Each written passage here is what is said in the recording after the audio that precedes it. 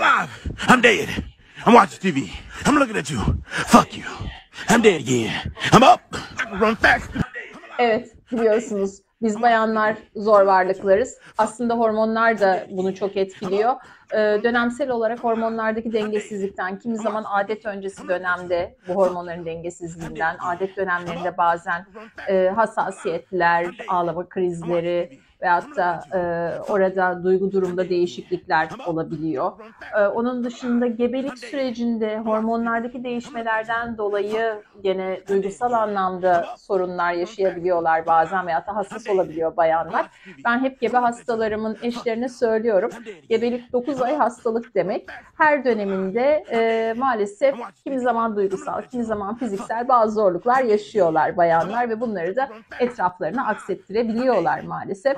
Onun dışında menopoz dönemi gene hormon dengesinde değişiklikler biliyorsunuz oluyor. Bundan dolayı kimi zaman gene sinirlilik, hassasiyet, uyku durumunda bozukluk, e, dengesiz ruh hali bunların hepsi olabiliyor. Erkeklerin işi biraz daha rahat maalesef. E, kadınlar biraz daha zor geçiriyor bu süreçleri.